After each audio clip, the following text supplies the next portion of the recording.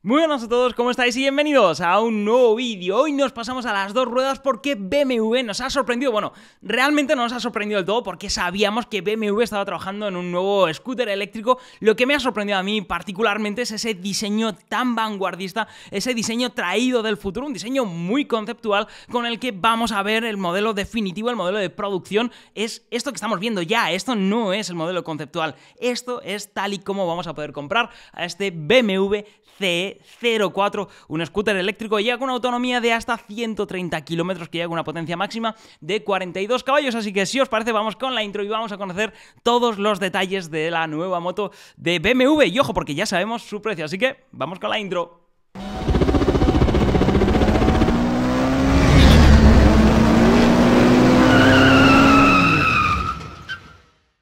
Bueno, pues como os decía, este nuevo BMW CE04 llega con un diseño tremendamente vanguardista, llega con un diseño muy rompedor, muy conceptual, en el que destacan, bueno, pues además de multitud de detalles en particular, ¿no? Como esa eh, cúpula teñida de naranja, o cómo han abordado la llanta posterior totalmente lenticular, o cómo han hecho de plano, ¿no? Ese, ese asiento, el diseño general, más allá de esos detalles, el diseño en general del scooter es un diseño muy rompedor, un diseño en el que se abordan los volúmenes a través de diferentes placas. Destaca también el, bueno, pues el frontal afilado, ¿no? La sensación de scooter bajo que tenemos en este nuevo BMW CE04. A mí es un diseño que me ha encantado, es un diseño que me parece brutal. Yo no soy muy de scooter, yo soy de moverme en moto, ¿no? De, siempre, aunque evidentemente entiendo la practicidad de, los scooters y me encanta, ¿no? los días que estoy con un scooter moviéndome por el centro de Madrid, me parece la mejor solución de movilidad posible, pero a mí los scooters estéticamente hablando nunca me han eh, llamado demasiado la atención y este BMW CE 04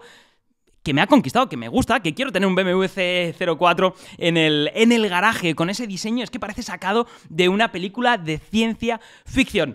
Fijándonos en detalles más eh, concretos, ¿no? Tenemos esos paneles que os mencionaba, dando forma a la parte inferior de la carrocería al frente, ¿no? Con ese también, ese guardabarros delantero envolviendo ya desde el propio eh, lateral la llanta delantera. Llegamos a una parte posterior donde de nuevo nos encontramos con ese diseño de paneles en la parte final del asiento, un asiento que también tiene un diseño flotante y tenemos luego esa llanta posterior totalmente carenada, totalmente cerrada, ¿no? Que además nos deja con esa eh, perspectiva de basculante monobrazo, que bueno, pues también le da un diseño bastante chulo. Fijándonos en algunos detalles de, confort que nos ofrece BMW con este nuevo BMW C04, tenemos que mencionar ese sistema de eh, llave inteligente, ¿no? De arranque por botón, tenemos también puños calefactados, tenemos nuestra guanterita con una toma de carga USB, tenemos también un sistema de iluminación adaptativa, tenemos marcha atrás, tenemos una moto en definitiva bastante completita. También hay que mencionar, por supuesto, esa instrumentación totalmente digital de 10,25 pulgadas, es decir, tenemos un buen panel, ¿no?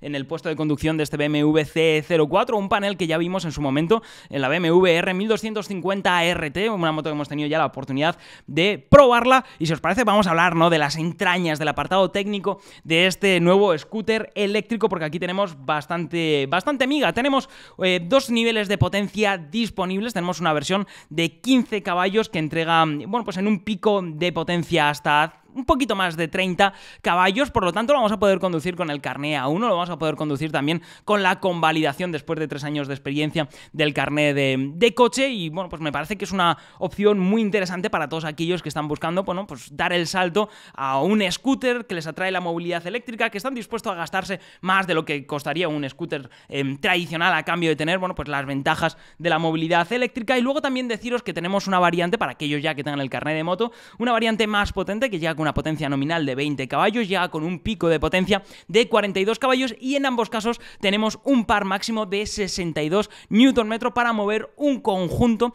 que arroja sobre la báscula un peso de 230 kilos. Deciros que las dos versiones están movidas por paquetes de batería eh, diferentes. En el caso de la versión de 15 caballos tendríamos un paquete con una capacidad de 6,2 kilovatios hora que nos dejaría con una autonomía de alrededor de 100 kilómetros, mientras que la versión más capaz nos ofrece un paquete de baterías de 8,9 kilovatios y por lo tanto tendríamos una autonomía un poquito mayor llegando a los 130 kilómetros. Deciros que tenemos refrigeración eh, líquida, también eh, deciros que tenemos un, eh, bueno, pues admite cargas con cargadores de tipo 2, por lo que podemos cargar nuestro BMW C04 en un wallbox, así que si ya tenemos un coche eléctrico en casa, bueno, pues vamos a poder utilizar el mismo wallbox para enchufar nuestro BMW C04 y como os decía en la introducción, ya tenemos el precio para este nuevo scooter eléctrico de BMW. Vamos a tener que pagar un poquito más de 12.000 euros, 12.050 euros para ser más exactos y luego habrá que ver, bueno, pues los diferentes paquetes de eh, equipamiento, los diferentes que si los puños calefactados,